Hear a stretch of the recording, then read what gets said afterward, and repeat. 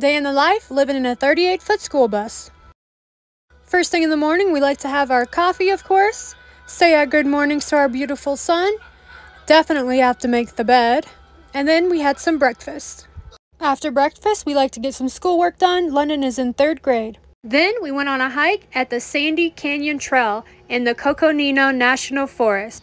For the rest of the day, we hang out outside and relax, and after that, we cook dinner. And that's a day in the life in a school bus.